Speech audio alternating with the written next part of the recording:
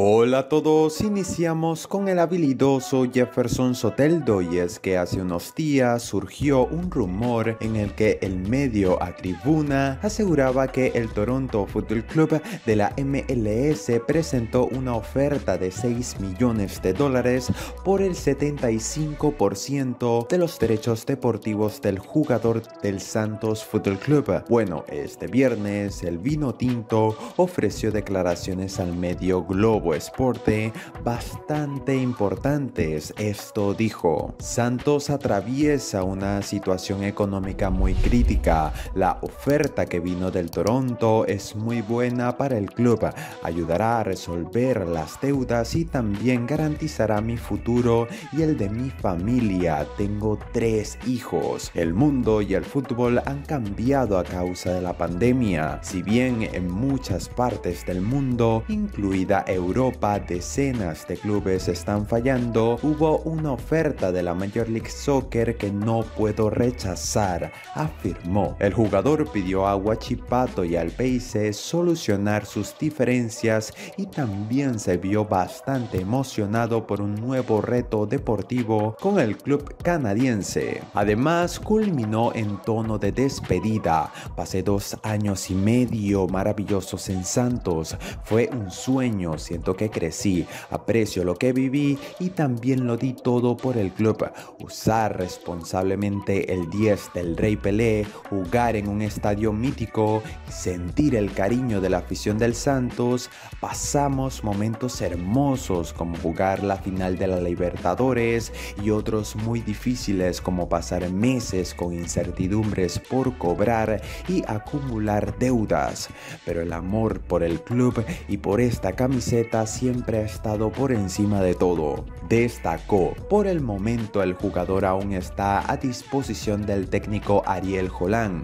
Creo que todos estamos de acuerdo que esto podría ser un paso hacia atrás en su carrera. Sin embargo, también entiendo las condiciones económicas mundiales que han llevado a cambiar muchas cosas en el fútbol. Además, viendo el lado positivo de las cosas, creo que prefiero que esté en el fútbol estadounidense a que se pierda del radar del fútbol occidental en ligas árabes o asiáticas. Pero bueno, ¿ustedes qué opinan? Déjenme saberlo debajo en los comentarios. Así se disputarán los cuartos de final del fútbol colombiano. Atlético Nacional irá contra la Equidad de Juan Colina, Jean Fuentes y José Hernández. Deportivo Cali jugará contra Tolima de Johandri Orozco. Santa Fe de Luis Manuel Cejas jugará ante Junior de Barranquilla de Luis Cariaco González, mientras que Millonarios irá contra América de Cali de el guardameta Joel Graterol. Universidad de Chile del DT Rafael Dudamel venció 2 a 1 a Unión Española en el fútbol chileno. En la fase de grupos de la Copa Libertadores, el Deportivo Táchira tuvo un debut soñado al vencer 3 a 2 al Club Olimpia en Pueblo Nuevo. Los goles fueron obras de Lucas Gómez Freddy Góndola y Lucas Trejo a 10 minutos sobre el final. Un jugador que me gustaría destacar en este encuentro es Maurice Cova, que estuvo sirviendo muy buenos balones. Por el momento, el aurinegro marcha segundo en el grupo B. Hubo sorpresa y el Santos Fútbol Club de Jefferson Soteldo cayó derrotado contundentemente 2 a 0 ante el Barcelona de Guayaquil. El criollo jugó completo, con un golazo del defensor Adrián Martínez, Deportivo La Guaira empató 1 a 1 ante el Gran Atlético Mineiro. Joel Graterol jugó todo el partido con el América de Cali que perdió 2 a 0 ante Cerro Porteño. Poco pudo hacer el guardameta criollo, tuvo un par de atajadas pero no tuvo responsabilidad en las dianas que le encajaron. En la Sudamericana, Metropolitanos cayó derrotado 3 a 2 ante Melgar. Los tantos criollos fueron óperas de Abraham Bajachille y Marco Bustillo. Aragua cayó sobre el final 1 a 0 ante Lanús. Brian Palmesano entró al minuto 79 con Huachipato que venció por la mínima 1 a 0 a San Lorenzo. Otro caso extraoficial, el joven extremo o lateral izquierdo, Joantoni Carmona, ha confirmado a través de sus redes sociales que ha recibido una oferta formal por parte del Atlético Mineiro de Brasil, pero pero este fichaje podría complicarse si no se soluciona un trámite legal.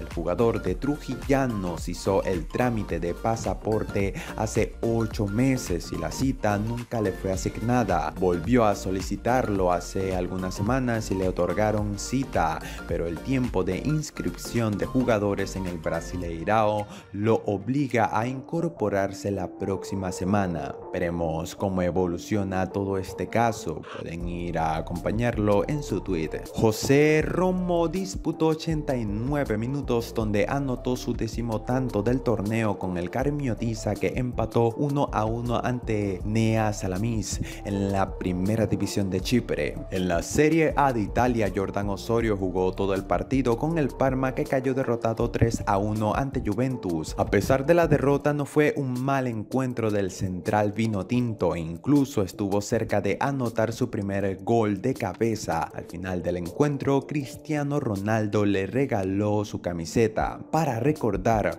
uno de los mejores de la historia. Respeto, esto dijo el barinés en sus redes sociales. Por su parte, Tomás Rincón disputó 72 minutos con el Torino que empató a uno ante Boloña. Pasamos a la primera división de España donde Yangel Herrera jugó todo el partido y Darwin Machis disputó 71 minutos con Granada que venció contundentemente 4 a 1 al Eibar. Leina Castellanos entró al minuto 64 en la victoria por la mínima 1 a 0 del Atlético Madrid ante la Real Sociedad en los cuartos de final de la Copa de la Reina. En el fútbol de Portugal, Miguel Villanueva jugó todo el encuentro con el Santa Clara que no se sacó diferencias y empató 0 a 0 ante Moreirense donde Nahuel Ferraresi entró al minuto 84. John Murillo jugó todo el encuentro donde anotó su tercer tanto del torneo en la victoria del Tondela 2 a 1 ante Nacional. En la segunda división de Alemania, Cristian Santos jugó el primer tiempo y anotó su sexto tanto del torneo con el Osnabrück que empató 2 a 2 ante Paderborn. Rolf Felcher jugó todo el partido y repartió una asistencia con el Würzburger Kickers que empató 2 a 2 ante Karlsruher. La Conmebol confirmó que la Vino Tinto vuelve a la acción por eliminatorias a Qatar 2022 en el mes de junio donde se enfrentará a Bolivia de César Farías en La Paz y a Uruguay en Caracas, correspondiente a las fechas 7 y 8 de la ruta mundialista. Las jornadas 5 y 6 versus Ecuador y Perú serán reprogramadas para culminar